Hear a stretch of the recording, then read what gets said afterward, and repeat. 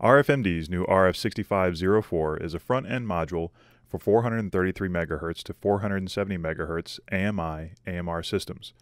The transmit port provides a PA with nominal output power of 30 dBm and gain of 15 dB. The receive pass through port is on a separate path. Both are combined with a single antenna port and SP2T switch, all presented in a 5.5mm by 5.0mm 28 pin package.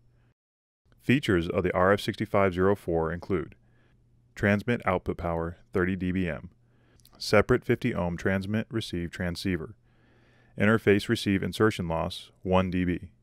Applications of the RF6504 include wireless automated metering, wireless alarm systems, portable battery powered equipment, smart energy, 433 MHz or 450 MHz to 470 MHz ISM band applications, single chip RF front end module.